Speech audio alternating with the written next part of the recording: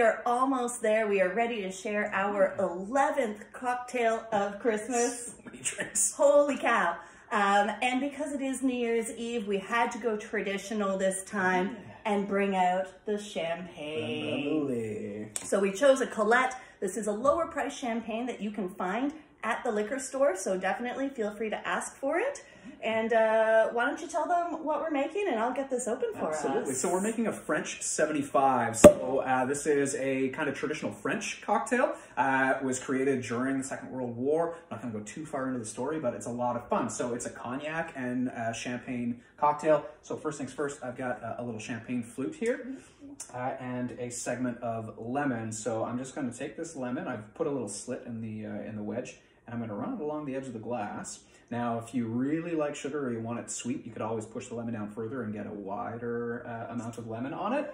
Because the other thing I've got on this little plate is some sugar. So we're going to roll a rim of sugar on there. Now again, what I just did is just the end, but if you got further down, you can lay the glass sideways and kind of get a bit more sugar onto it that way. So I'll bring this a little bit closer to the cameras so you can see. So we've got a nice thick rim of sugar there. Now, some cognac and some lemon juice is what's next. So right here, I've got some lemon juice. We've got about a half ounce, which is quite a bit. This is gonna be on the tart side.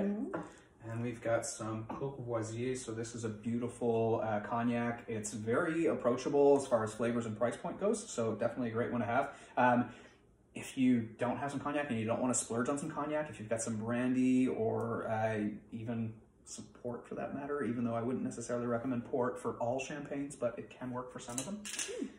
So we're gonna put another half ounce, so a half ounce of lemon, half ounce of cognac in there, and then we're just gonna And then the right gem? off. Yeah, the bubbly. There we go. Now, traditionally, this cocktail has a, uh very large lemon twist. So we do have a fairly sizable lemon twist here. Um, easiest way to do this is use like a vegetable peeler and you just pull it off uh, of the, the lemon. Make sure that you wash your lemon first just so that you don't have a bunch of like wax or pesticides or anything like that on there. Uh, and we're just going to tuck it in here. And there you have it, guys. Oh, that's beautiful. The French 75, festive and perfect for tonight. All right. Happy Awesome. New Year's, guys. Cheers, guys. Happy Cheers. New Year's.